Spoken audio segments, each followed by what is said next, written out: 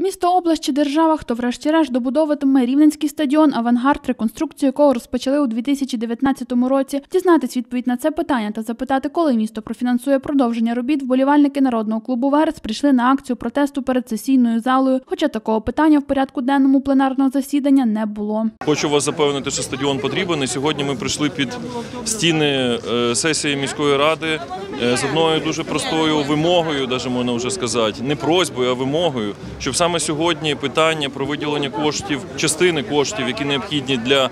Продовження будівництва стадіону Гард виділи саме сьогодні.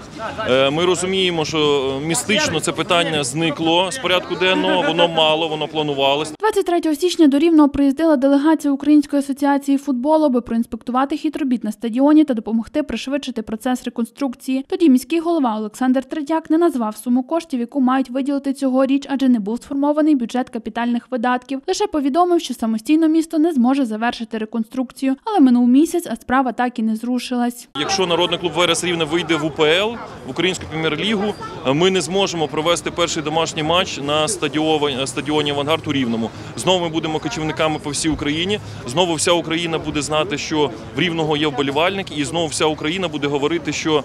А що у вас там міська рада? А, типу, не виділяє кошти. Ми вже таке чули не на одному стадіоні, і всі асоціюють місто Рівне з тим, що у нас є міська е, влада, яка просто ну чи не зацікавлена будівництві стадіону. Болівальники принесли до сесійної зали скриньку із написом Пожертва на стадіон як символ того, що депутати також можуть долучитись та наблизити стадіон до завершення будівництва. Вони кажуть, Верес є прикладом для молодшого покоління, і якщо це не розвивати, то рівне може втратити команду, і юним спортсменам не буде на кого рівнятися. Якщо буде стадіон, е, то і так само наші дітки будуть в них буде стимул, що ну чому вони займаються, тому що вони будуть знати, що якщо вони будуть достатньо працювати, вони е, зможуть потрапити в рівненську команду. Ну а там далі і вище і вище. Наразі бюджет капітальних видатків ще остаточно не сформовано та не прийнято. Міський голова під час засідання сесії повідомив, що роботу над цим майже завершено, і до кінця місяця депутати Рівнеради зберуться на ще одне засідання, де й розглядатимуть проект бюджету. Міська рада, я як міський голова, ми готові виділити кошти в сумі 50 мільйонів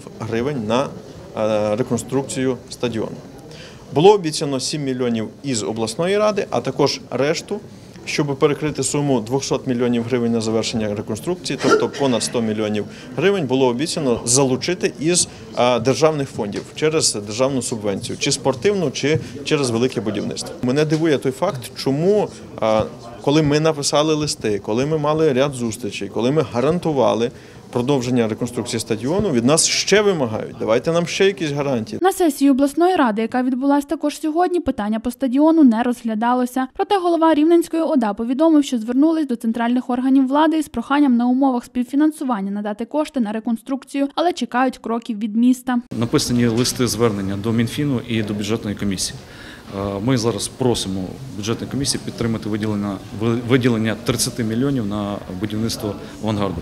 Але черговість і причинно-наслідковий зв'язок дій дуже простий. Спочатку місцева влада як е, ініціатор е, має подати своє рішення, і тоді центральний бюджет, виходячи з фінансів, які виділяє регіон, додає свою лепту. Тож, допоки міська та обласна влада граються у пінг-понг, хто ж перший має розпочати фінансування реконструкції авангарду, вересу доводиться їздити по Україні та шукати футбольні поля, на яких зможуть тренуватись та проводити матчі. Анастасія Шепетюк, Вячеслав Мельник, випуск новин.